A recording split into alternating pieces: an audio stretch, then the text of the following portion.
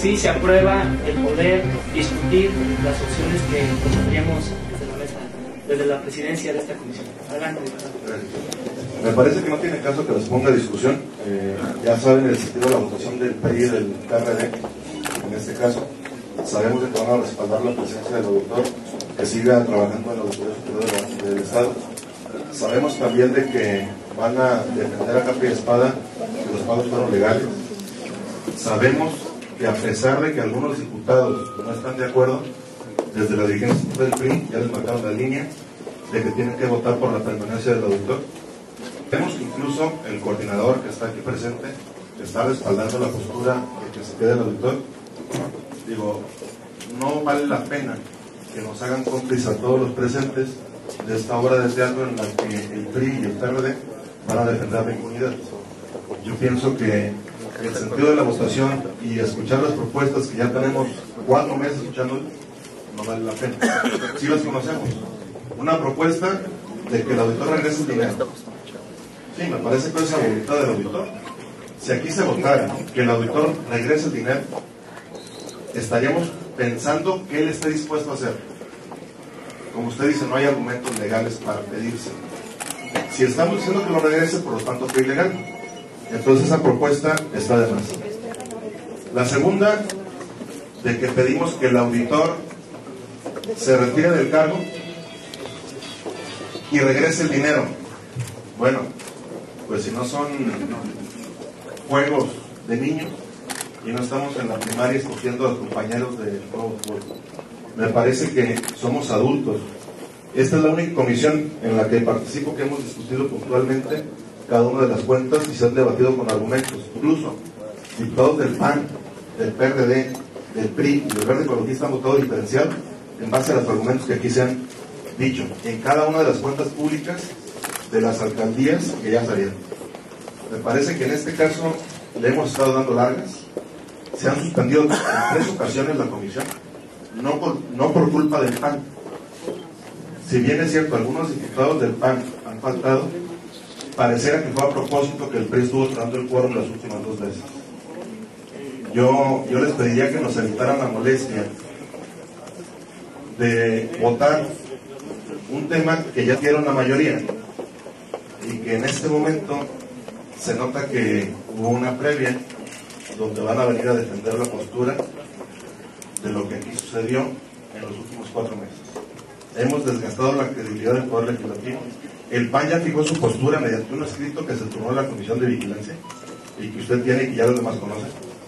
Entonces, desde mi punto de vista, no tiene caso que se discuta. Ya no queremos avalar lo que ustedes van a votar en cinco minutos. Le solicitaría, diputado, el que en concreto me manifestara cuál es la propuesta. Que no se discute, no se haga más teatro de lo que se ha hecho.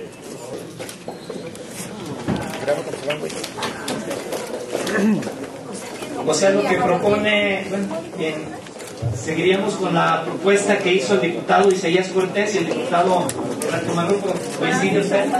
Sí. Adelante, diputada. Yo creo que eh, aquí es a luces ya visto y oscuras también la situación que prevalece por nuestros compañeros de Acción Nacional. Viene a hacer un teatro y viene a formar un teatro de una situación mediática, política, son ellos. Y lo comentábamos ahorita hace un momento con el propio diputado Argüelles. En ese sentido, de que ante la situación jurídica eh, estamos atados de manos para poder tomar más decisiones y más argumentos que los que nos dejaron incluso la legislación pasada y la antepasada también. Entonces, más allá de que los medios también hagan una situación eh, meramente personal o, meramente con una situación que se ha visto en tanto tiempo, no podemos argumentar, no tenemos las pruebas necesarias como para poder decir esto va. De ahí que una servidora siempre su postura ha sido ir al fondo y no nada más a la forma. Pues al fin y al cabo la forma también es fondo, pero esto está de precisamente más allá. Y precisamente una persona que quizás pudiésemos haberle pedido cuentas en este momento, pues acaba de retirar, que es el exsecretario general de la legislatura pasada, que supo cómo recibió la 58, a la 57 en este caso, ¿sí? Y cómo entregó al que mandó la secretaria general en los primeros meses de esta legislatura. Es cuanto, presidente. Gracias, diputado. Adelante, diputado Ricardo.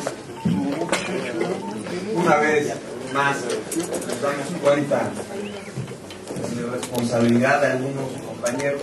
Si bien aquí van a haber opiniones a favor y otros en contra, para eso son las comisiones, para discutirlo, para debatir, para llegar al acuerdo, al consenso, o cada quien asumir eh, su sentido. Yo creo que es irresponsable, es, habla de cobardía el haberse retirado cuando tienen, se supone, argumentos para manifestar cómo hubiera sentido su voto. Yo manifiesto que mi voto va a ser como siempre lo he venido manifestando y así lo voy a sostener pero voy a dar mis argumentos y voy a estar sentado para debatirlo. Yo creo que es una manera, como lo venía comentando, de cobardía y que lo único que da a la ciudadanía es eso, falta de responsabilidad, falta de cumplimiento de sus obligaciones, bajarse en un barco que todo el mundo estaba en espera de ver cómo iba a salir la resolución, evadirla de esa manera tan cobarde.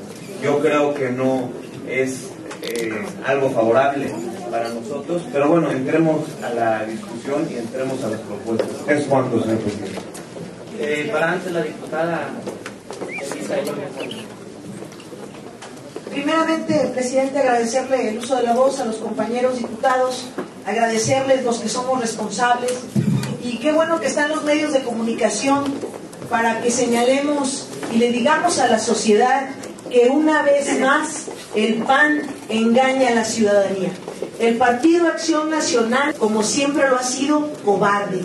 Simple y sencillamente sus diputados metieron a una serie de situaciones que estamos en esta legislatura, la 59. Nosotros los diputados queremos únicamente que se aplique a derecho y creo que felicito yo y reconozco a los diputados que tenemos la valentía de enfrentar una situación y que hay que decirlo a la sociedad que las 57 y 58 legislaturas fueron encabezados por el Partido Acción Nacional y que lamentablemente nos damos cuenta una vez más lo cobarde que son y simple y se retiran. Son gente que no tiene por qué estar ni una vez más en el gobierno. ¿Es cuando? Pregunto a ustedes para que sea en votación nominal. Diputado Roberto Maruco Torres. Diputado Noel Pérez de Alma. Diputada Ana Berta Guzmán de la Torre. Por ausencia para fundar una cosa diferente. Diputado Omar Hernández Hernández. Diputada Patricia Elena de Famosa Vega. A favor. Diputada Elisa Ayón Hernández. A favor. Diputada Olga Araceli Gómez Flores. En pro del erario público, a favor. Diputado Enrique Auri de Castro Palomino. En contra. Diputado Salvador Barajas del Toro. A favor en el sentido que los documentos que fueron realizados por parte de esta presidencia contaban con el fundamento legal para poder haber sido entregados al funcionario a través de acuerdos de la legislatura 57 y ratificados en la 58 donde fueron entregados a este funcionario, dando por mayoría en ese momento el Partido Acción Nacional y desde aquí solicito a la Auditoría Superior del Estado que a la brevedad le remita a esta comisión los resultados de la auditoría del ejercicio 2009 al Congreso de Jalisco